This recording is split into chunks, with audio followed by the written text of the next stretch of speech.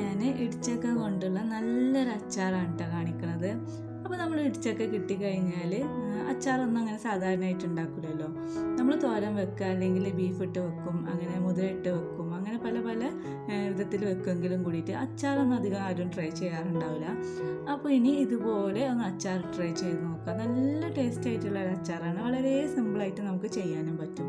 അപ്പോൾ അതെങ്ങനെ ഉണ്ടാക്കണമെന്ന് നോക്കിയാലോ? അപ്പോൾ ഇതിന്റെ മുമ്പ് ഞാൻ ഇടിച്ചക്കയും മുതിരയും വെച്ചിട്ടുണ്ടായിരുന്നു കേട്ടോ അപ്പോൾ അതിന്റെ ബാക്കിയുള്ള ഭാഗം കൊണ്ടാണ് ഞാനിപ്പോൾ ഈ അച്ചാർ ഉണ്ടാക്കിയിട്ടുള്ളത്. അപ്പോൾ ഒരു ഇടിച്ചക്കന്റെ പകുതി ഭാഗം മാത്രമാണ് ഞാനിപ്പോൾ എടുത്തിട്ടുള്ളത് കേട്ടോ ഇതുപോലെ കൊത്തി അരിഞ്ഞ് വെച്ചിട്ടുണ്ട്. അതിലേക്ക് നമുക്ക് വെളുത്തുള്ളിയും ഇഞ്ചിയും അതുപോലെ ഞാനിപ്പോൾ എടുത്തിട്ടുള്ളത് ചീരമുളകാണ് കേട്ടോ ഗാന്ധാരി മുളക് എന്നൊക്കെ പറയില്ലേ അതാണ്. അപ്പോൾ നമുക്ക് അച്ചാറിടാൻ വേണ്ടിയിട്ട് ആദ്യം തന്നെ ഒരു ചട്ടി അടുപ്പിൽ വെക്കാം. അപ്പോൾ ചട്ടിയൊക്കെ നന്നായി ചൂടായി കഴിഞ്ഞാൽ അതിലേക്ക് ഒരു രണ്ട് ടേബിൾ സ്പൂൺ നല്ലെണ്ണയാണ് എടുക്കുന്നത്. അപ്പോൾ സാധാരണയായിട്ട് നമ്മൾ അച്ചാറിടാൻ വേണ്ടിയിട്ട് നല്ലെണ്ണയാണല്ലോ യൂസ് ചെയ്യുക. അപ്പോൾ നല്ലെണ്ണ ഒരു രണ്ട് ടീസ്പൂൺ ഒഴിച്ചു കൊടുക്കാം. അതൊക്കെ നന്നായി ചൂടായതിന് ശേഷം ഒരു അര ടീസ്പൂൺ കടുകിട്ടിട്ട് പൊട്ടിക്കുന്നുണ്ട്.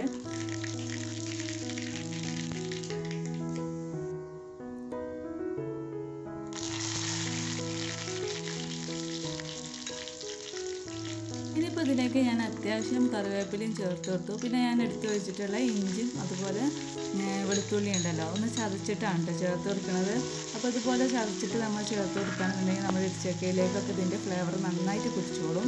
ഇനി ഇതൊക്കെ നന്നായിട്ട് നമുക്ക് എണ്ണയിലിട്ടിട്ട് നന്നായിട്ട് ഒന്ന് മൂപ്പിച്ചെടുത്തതിന് ശേഷം നമ്മൾ എടുത്തു വെച്ചിട്ടുള്ള കാന്താരിമുളകും കൂടി ഒന്ന് ചതച്ചിട്ടാണ് ചേർത്തിട്ടുള്ളത്. ഇതെല്ലാം കൂടി നമുക്ക് എണ്ണയിലിട്ടിട്ട് നന്നായിട്ട് ഒന്ന് വഴറ്റിയെടുക്കാം. അപ്പോൾ ആ വെളുത്തുള്ളിന്റെ ഒക്കെ മൂത്ത് നല്ലൊരു സ്മെല്ല് വരുന്ന സമയത്ത് നമുക്ക് ഇതിലേക്ക് അച്ചാർ പൊടിയും കൂടി ചേർത്ത് കൊടുക്കാം. അപ്പോൾ രണ്ട് ടീസ്പൂൺ അച്ചാർ പൊടി ഞാൻ ചേർക്കുന്നുണ്ട്. പിന്നെ ഞാൻ മുളകും പൊടി ഒന്നും ഇതിലേക്ക് ചേർക്കണില്ല കേട്ടോ. അപ്പോൾ അച്ചാർ പൊടി മാത്രം ചേർക്കണുള്ളൂ. അതും കൂടി നമുക്ക് ഈ എണ്ണയിലിട്ടിട്ട് നന്നായിട്ടൊന്ന് വഴറ്റിയെടുക്കാം.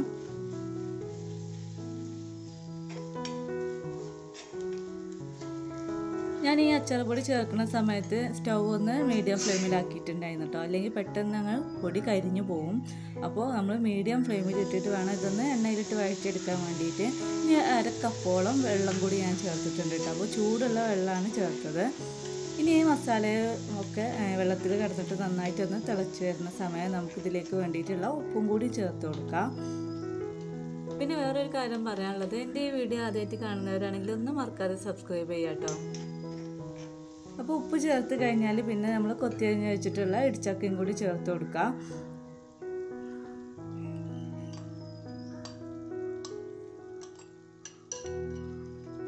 അപ്പോൾ കുറഞ്ഞ ചേരുവ വെച്ചിട്ട് നമുക്ക് വളരെ സിമ്പിളായിട്ട് ചെയ്യാൻ പറ്റുന്ന നല്ലൊരു അച്ചാറാണ് കേട്ടത് നല്ല ടേസ്റ്റി ആയിട്ടുള്ള അച്ചാറാണ് കേട്ടോ. അപ്പോൾ ഇടിച്ചൊക്കെ കിട്ടിക്കഴിഞ്ഞാൽ ഞാൻ എപ്പോഴും ഇവിടെ ചെയ്യാറുള്ള ഒരു അച്ചാറാണിത്. അപ്പോൾ ഇതുപോലെ നമ്മൾ ഈ മസാലയിൽ നന്നായിട്ടൊന്ന് ഇത് മിക്സ് ചെയ്തെടുക്കാം.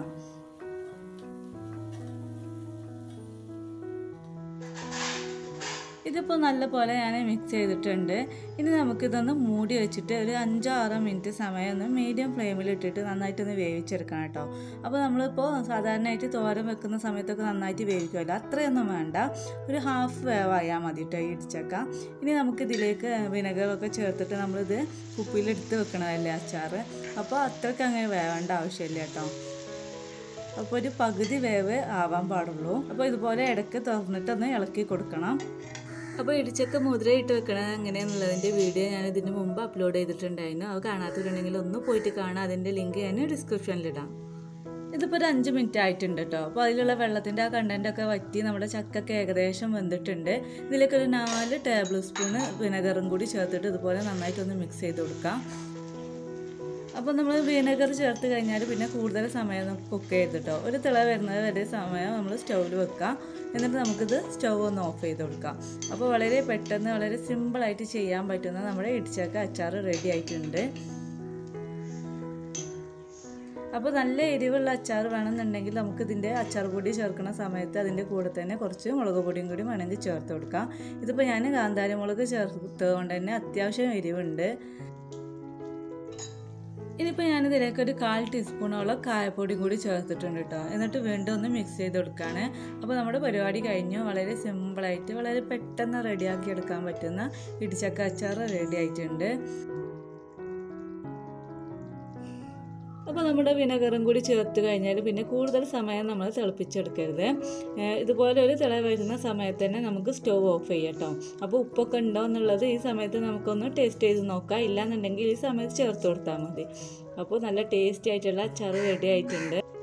അപ്പോൾ ഇങ്ങനെ വെക്കണമെന്നുണ്ടെങ്കിൽ നമുക്ക് കുറേ കാലം പിന്നെ കേടുകൂടാതെയൊക്കെ സൂക്ഷിക്കാൻ വേണ്ടിയിട്ട് പറ്റും കേട്ടോ. അപ്പോൾ നന്നായി തണുത്തതിന് ശേഷം നമ്മളൊരു ജാറിലാക്കി വെക്കാം. പിന്നെ നമ്മൾ ഉപയോഗിക്കുന്നതിനനുസരിച്ചാണ് കേട്ടോ. അച്ചാർ കേടാകുന്നതൊക്കെ നമ്മൾ നനഞ്ഞ സ്പൂണൊക്കെ ഇട്ടിട്ട് എടുക്കുകയാണെന്നുണ്ടെങ്കിൽ പെട്ടെന്ന് ചീത്തയായി പോകും അച്ചാർ അപ്പോൾ അതൊക്കെ ഒന്ന് ശ്രദ്ധിക്കാം.